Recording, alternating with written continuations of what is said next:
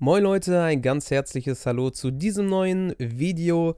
Tippt wie immer gerne mit in den Kommentaren, würde mich auf jeden Fall freuen. Es steht vor allem die erste Runde des DFB-Pokals an, aber ich habe auch das Supercup-Finale dabei. Die Timestamps findet ihr in der Videobeschreibung. Vielen Dank fürs Reinschalten. Das sind jetzt die Spiele, die ich mir ausgesucht habe. Einige gingen einfach nicht, weil die Teams halt nicht bei EAFC dabei sind und manche Partien fand ich auch nicht so interessant. Nehmt es mir da nicht übel. Ich hoffe, diese Auswahl gefällt euch einigermaßen. Danke fürs Reinschalten. Los geht's mit Ulm gegen Bayern. Auf in den DFB-Pokal 2024-2025. Erste Runde Ulm gegen Bayern. Eines von vielen Spielen. Ulm neu Zweitligist gegen den FC Bayern München, der in dieser Saison neu angreifen möchte. Sich in der Vorrunde unter Vincent Company mal mehr, mal weniger schwer getan hat. Hier gegen Ulm merkte man aber schon, dass Ulm im Wettkampfmodus schon ist. Bereits zwei Spieltage ja schon gespielt. Der FC Bayern München brauchte erstmal eine Weile und hatte die erste nennenswerte Chance auch gegen sich. Jetzt auf der anderen Seite Thomas Müller am Eckstoßpunkt. Serge Gnabry zieht in den Strafraum ein, wird nicht richtig angegangen. Als er dann zum Abschluss kommt, hat aber Krattenmacher doch die Füße dazwischen. Der anschließende Eckstoß von der anderen Seite. Wieder Gnabry bekommt erneut zu wenig Druck. Legt zu Kim. Stanisic dreht sich einmal, findet Tell, der nach 26 Minuten das 1 zu 0 für die Bayern markiert. Dann hat es doch nicht lange gedauert, als der FC Bayern das erste Mal richtig hineingefunden hat in diesen Freitagabend. Klingelt es direkt zum ersten Mal. Aber der SSV Ulm, der zeigte hier Gegenwehr. Nächste Chance und diesmal der Treffer. Chessa mit dem 1 zu 1 in der 31. Minute. Das war nicht mal unverdient, trotzdem etwas überraschend dass sie hier nach dem 0 zu 1 nicht eingebrochen sind. Der FC Bayern aber nochmal vor dem Seitenwechsel. Musiala, Pavlovic, 2-1 FC Bayern. Das Ganze dann doch in Durchgang 1 noch wieder in die richtige Bahn aus Bayern Sicht gelenkt. Doch man konnte dem SSV Ulm schon auf jeden Fall Respekt zollen. Das war ein wirklich guter erster Durchgang. Der FC Bayern wollte aber nichts mehr anbrennen lassen und drückte von Beginn an auf das nächste Tor und das 3 zu 1 fiel dann auch in der 49. Minute. Serge Gnabry, diese Eckstöße, die verteidigte Ulm wirklich fahrlässig. Erneut ein Treffer nach ruhendem Ball. So wenige Minuten später, Musiala, Kimmich, frei vor dem Kasten, 1 zu 4. Jetzt war spätestens auch klar, wer in die nächste Runde einzieht. Das dürfte jetzt für Ulm eine unbezwingbare Hürde werden. Die Frage war, ließ sich jetzt der Gastgeber auch richtig abschießen? Bayern kam in Spiellaune und das kann dann böse enden. 59. Minute Doppelpark. Josua Kimmich, der hier per Flugkopfball trifft.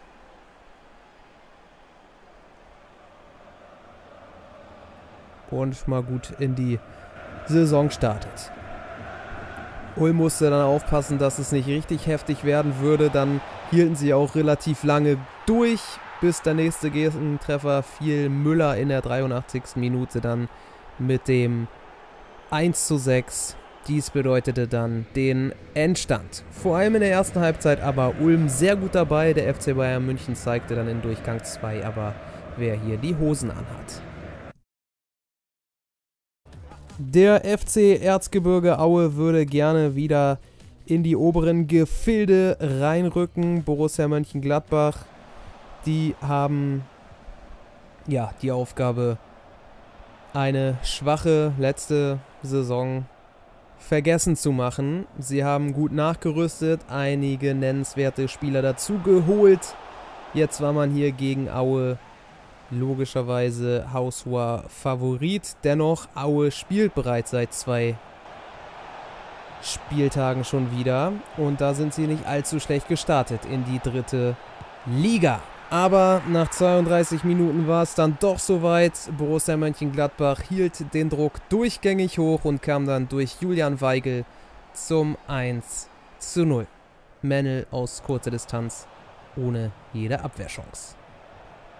Stöger, einer der neuen. Kleindienst, ein weiterer neuer. Honorar, den kennen wir schon. Stöger, Kleindienst. 0 zu 2. 42. Nochmal ein richtiger Stimmungsbreaker für den FC Erzgebirge, so kurz vor dem Seitenwechsel. 0 zu 2 zur Pause wirkte schon ziemlich klar und deutlich, die ganze Angelegenheit hier. Gladbach aber spielte gut. Seoane wohl mit den richtigen Ansätzen in der Sommerpause. Honorar mit dem 0 zu 3 in der 55. Minute. Und hier sah man auch, auch wenn es ein 0 zu 3 schon war, da versammelt sich die Mannschaft zum Jubeln. Die waren sehr glücklich und zufrieden. Ist ja immer tückisch, so eine erste Pokalrunde. Aber Borussia Mönchengladbach ließ hier wirklich keine Fragen offen. Stöger, Kleindienst, 0 zu 4. Der Doppelpack für den Neuzugang, auf den ja auch einige Hoffnungen ruhen. Konnte sich wirklich gut ansehen lassen, was die Fohlen 11 hier auf den Platz zauberte. 20 Minuten noch etwa zu spielen. Netz mit dem schwachen Fuß, aber perfekt auf Player getreten, diese Flanke. Der läuft zum richtigen Zeitpunkt ein. Aue in der Defensive dann noch teilweise überfordert, aber sie wurden auch wirklich eingeschnürt und dann kommen eben einige Fehler zustande. Da gar kein großer Vorwurf. In der 80. Minute dann sogar noch das 0 zu 6. Honorar machte das halbe Dutzend voll und besiegelte damit den Endstand. Am Ende war für Aue ganz klar nichts zu holen. Gladbach zeigte hingegen eine ansprechende Leistung. Arminia Bielefeld und Hannover 96 trennt aktuell eine Liga Dritte gegen Zweite, aber historisch gesehen durchaus ein freundschaftlich gesinntes Duell. Aber das ist in den 90 respektive 120 Minuten die auf dem Platz hier geschehen, vollkommen irrelevant, denn beide Mannschaften möchten in die nächste Runde. Hannover 96 mit der ersten Chance durch Rochelt, die Kersken aber parieren konnte. Beide Mannschaften auch ganz gut in die Liga gestartet. Bielefeld mit breiter Brust und Becker mit dem 1 zu 0. bekommt er etwas zu viel Platz aus 15 Metern, dann rechts rein. Für Zieler nichts zu halten. Die Bielefelder Alm soll wieder zum Mythos werden und das sah hier doch gar nicht schlecht aus. Kunze mit dem 2 zu 0, weil Zieler nur zur Seite abwehren kann. Kunze staubt ab, stand nicht im Abseits und markiert das 2 zu 0. Hannover hatte also eine richtig große Aufgabe vor sich für Durchgang Nummer 2. Aber durchaus qualitativ in der Lage, das Ganze auch wenden zu können. Gangkam, 2-1, 49. Minute. Das ging schnell und das ist wichtig für die Niedersachsen, die hier postwendend zurück ins Spiel finden nach dem Seitenwechsel rochelt extrem auffällig und dann ein Gangkam. Abschluss sicher. Doch die zweite Halbzeit plätscherte dann ein bisschen dahin bis in die 74. Minute, dem hier mal wieder eine Chance für Hannover hatte. Das ist eigentlich ein Schuss, der drin sein muss, aber das war noch nicht gelungen. 85. Minute. Rochelt legt auf für einen Gangkam. Und der macht das 2 zu 2.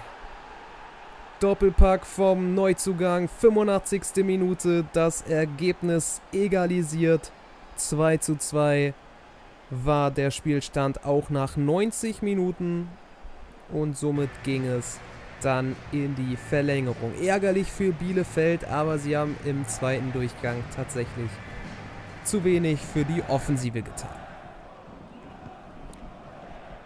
Also ab in die Verlängerung. Sarenren Basé.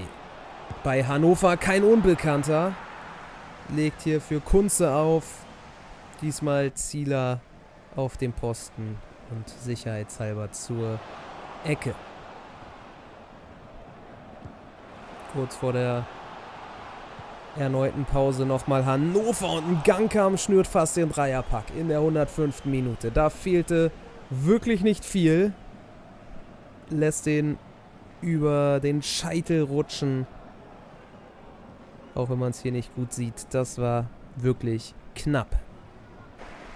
Aber viel mehr ging dann auch nicht in der Verlängerung. Auch nicht in der zweiten Halbzeit. Und somit hieß es Elfmeterschießen. Das kann dann sowieso in die eine oder die andere Richtung umschlagen.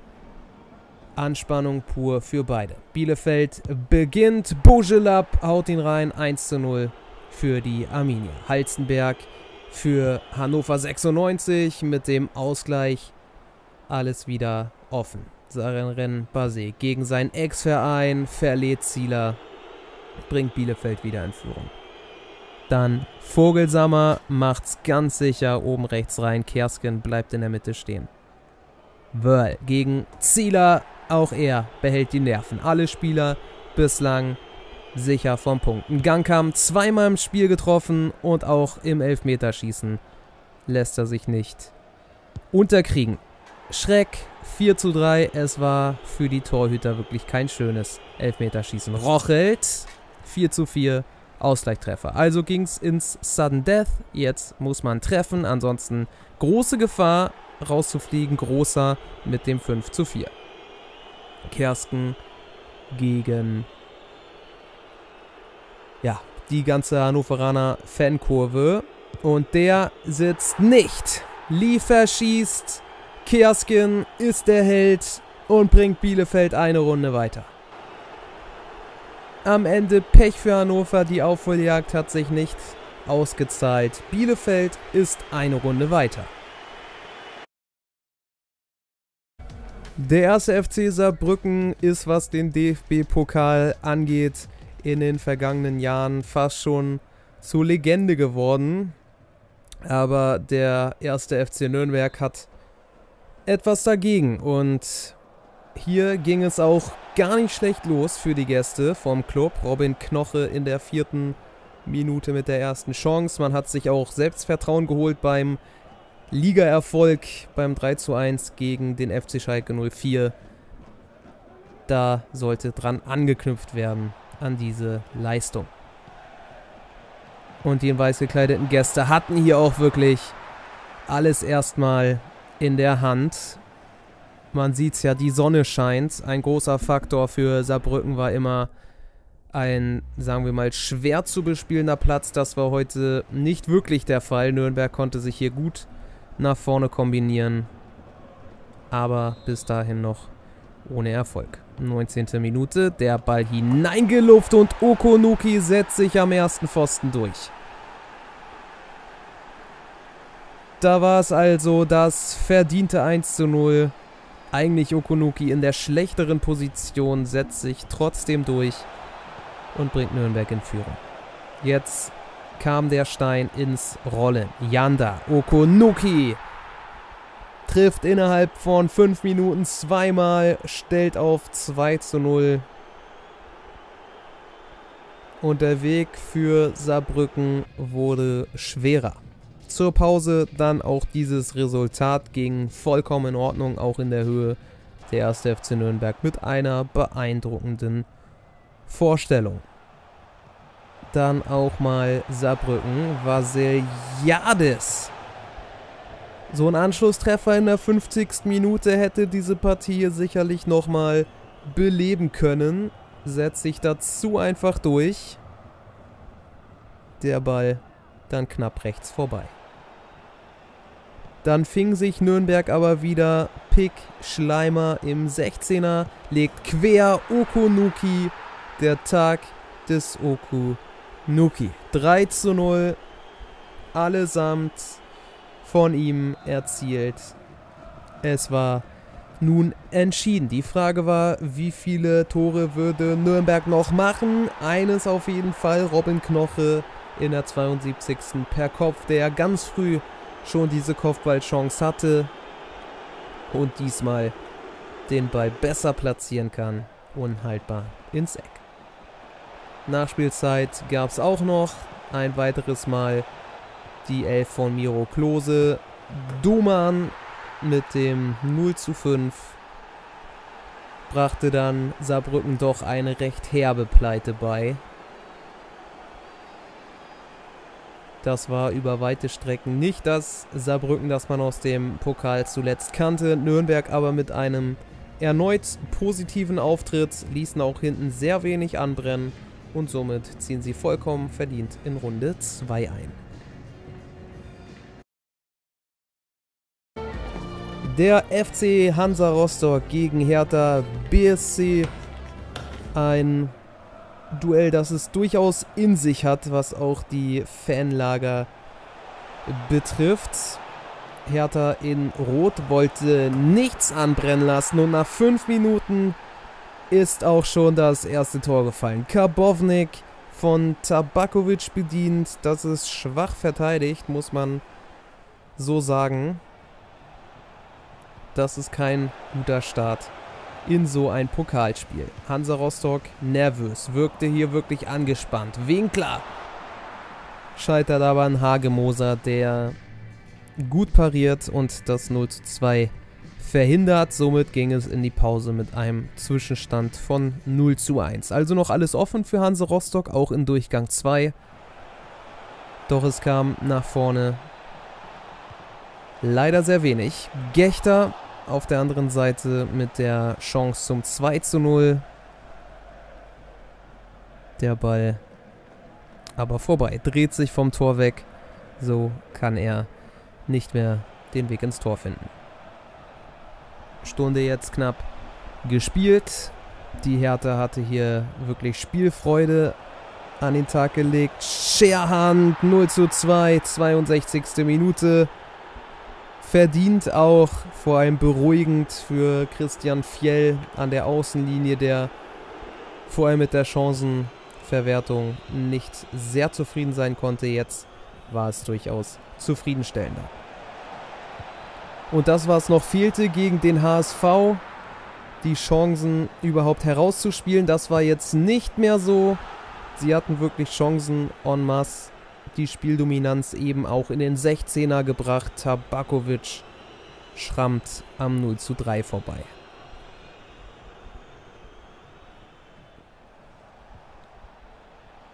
Ab in die Schlussphase. Es kam nicht mehr das große Aufbäumen der Rostocker. Stattdessen Tabakovic nochmal Winkler 0 zu 3, 87. Minute standesgemäß. Kommt die alte Dame eine Runde weiter hier beim auf dem Papier schwierigen Auswärtsspiel in Hansa Rostock, das am Ende aber tatsächlich durch die spielerische Dominanz gar nicht so kompliziert war. Guter Auftritt der Hertha und vollkommen verdient weiter. Dynamo Dresden gegen Fortuna Düsseldorf. Zwei Mannschaften, die in der jeweiligen Liga eigentlich eine Stufe hoch wollen. Dynamo Dresden möchte gerne in die zweite, Fortuna Düsseldorf logischerweise in die erste Bundesliga. Dynamo Dresden in Gelb, wie man es zu Hause kennt. Und wie man es zu Hause kennt, auch mit ordentlich Wucht im Strafraum. 1 zu 0 in der fünften Spielminute. Eiskalte Dusche für die Fortuna. Da standen sie gefühlt noch gar nicht richtig auf dem Feld. Da klingelte es bereits im eigenen Kasten. Ansonsten Düsseldorf ganz gut reingekommen in die Saison. Hatten hier dann mit Tanaka auch die passende Antwort parat. Bereits in der 11. Minute das 1 zu 1. Au Tanaka bekommt da zu viel Platz aus der zweiten Reihe. Der ist dann aber auch sehr gut platziert. Mittlerweile die Halbstundenmarke geknackt. Düsseldorf wurde stärker. Rossmann schießt drauf. Schreiber aber ist zur Stelle, wehrt den ab. Hält das 1 zu 1 fest. Das markierte gleichzeitig den Halbzeitstand. Der Sprung in die zweite Halbzeit. Dynamo Dresden weiterhin mutig, zwar durchaus defensiv stehend, aber immer wieder mit Möglichkeiten. Hauptmann auf Heise.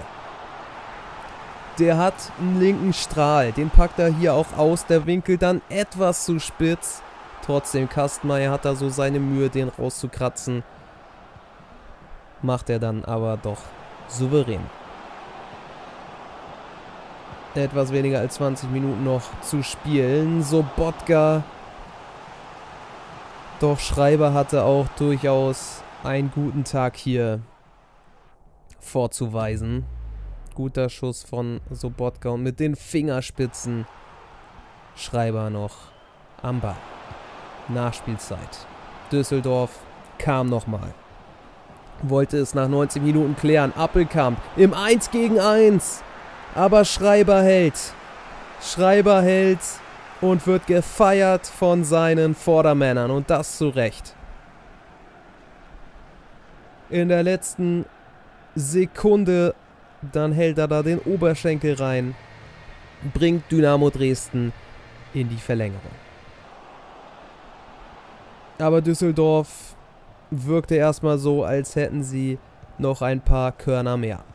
Sobotka, Johannesson. Jastremski steckt durch zu Zimmermann und der mit dem 2 zu 1 in der 99. Minute. Unter dem Strich schon verdient. Düsseldorf schien den längeren Atem zu haben. Und in Durchgang 2 Dresden dann sehr risikoreich in der Defensive, logischerweise. Klaus 1 gegen 1 scheitert er an Schreiber. Aber das wurde nicht mehr bestraft. Dresden liefert einen starken Kampf, fliegt am Ende dann aber dennoch verdient raus gegen Fortuna Düsseldorf, die hier sich schwer taten, aber trotzdem diese schwere Hürde gemeistert haben.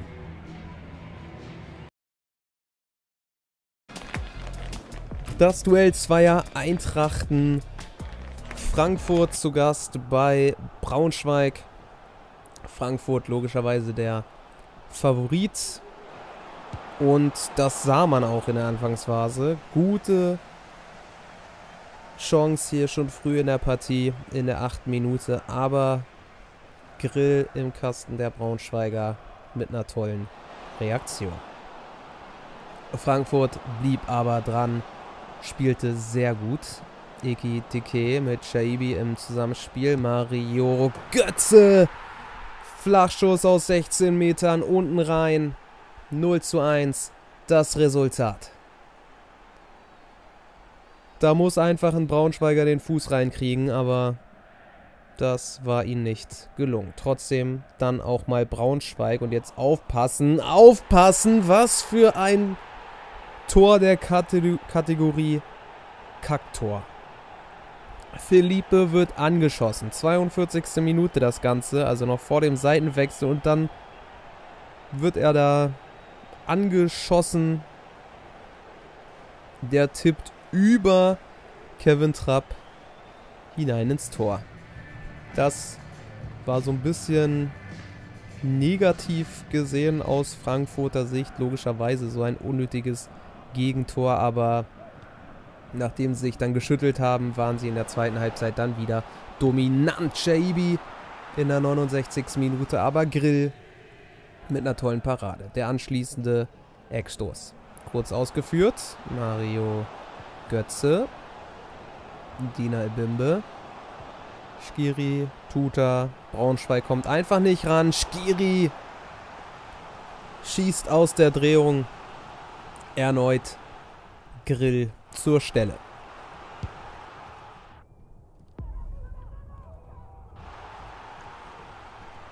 Doch Frankfurt schnürte Braunschweig hinten ein. Chabi.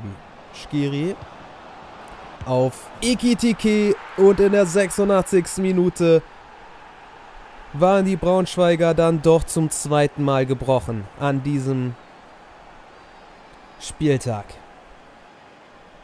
Am Ende war auch Frankfurt die bessere, die deutlich bessere Mannschaft. Braunschweig hielt gut dagegen, aber fliegt dennoch aus dem Turnier. Statt DFB-Pokal heißt es für diese beiden Mannschaften Supercup. Das haben die so normalerweise nicht auf dem Schirm. Da treffen meistens andere Mannschaften aufeinander. Aber der Meister gegen den Vizemeister das heißt eben Leverkusen gegen Stuttgart. Leverkusen in den schwarzen Trikots mit der besseren Anfangsphase. Boniface auf Grimaldo. Der legt zurück. Boniface, Nübel, Mittelstädt. Was ist das für eine Szene? Der Ball bleibt heiß. Boniface wird. Hofmann kommt nicht durch. Grimaldo hat das Auge für Arthur Nübel. Oh Mann, oh Mann. Nochmal in der Wiederholung erstmal diese Parade von Nübel. Dann hat Mittelstädt dann eine spezielle Idee. Nübel haut seinen eigenen Mann um. Wahnsinn, Wahnsinn, Wahnsinn. Dann Grimaldo nochmal, Arthur, aber der Ball, er wollte nicht rein. Vor allem auch, weil Nübel gut aufpasste. Stuttgart tat sich schwer. War ja in der vergangenen Saison tatsächlich so kurz davor wie keine andere Leverkusen zu schlagen. Also vor allem auch in der Häufigkeit. In Hin- und Rückspiel. Und im Pokal. Darf man nicht vergessen. Hier dann Silas mal mit dem Abschluss. Aber ein Meter am Tor vorbei. Doch Leverkusen zeigte, dass sie verwundbar sind. Leveling. Gut durchgesteckt. Demirovic kommt nicht durch. Führe ich nochmal zu Leveling und Radetzky mit der Parade.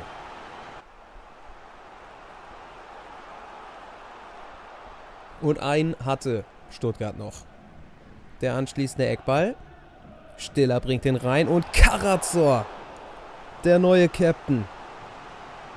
Doch wieder Radetzky, der hier glänzend pariert. Und Leverkusen das bis dahin dann doch schmeichelhafte 0 zu 0 festhalten konnte. Der zweite Durchgang war dann zäh. Leverkusen sehr defensiv eingestellt, Stuttgart mutig, aber nicht mit den entscheidenden Chancen. Dann Boniface auf Wirtz, der läuft und läuft und trifft. 1 zu 0, 58. Minute. Das war jetzt nicht zwangsläufig verdient, aber eben gut gespielt. Stuttgart läuft dann hinterher und fängt sich diesen Treffer. Und davon konnten sie sich auch im Endeffekt nicht mehr erholen. Sie waren zwar durchaus drin im Spiel, aber Chancen gab es nicht mehr, die man hätte nennen müssen. Leverkusen sichert sich den Supercup im Duell Meister gegen Vizemeister. Das ist mal ein positiver Saisonstart. Jo, da seht ihr einmal die Ergebnisse im Überblick. Glaubt ihr auch, Leverkusen macht das Ding oder gewinnt Stuttgart? Ich hoffe, das Ganze hat euch gefallen, auch wenn euer Verein jetzt hier vielleicht nicht dabei war oder nicht gewonnen hat. Vielen Dank fürs Reinschalten. Nächste Woche geht's los mit der Bundesliga. Bleibt gesund, bis zum nächsten Mal. Haut rein und adios.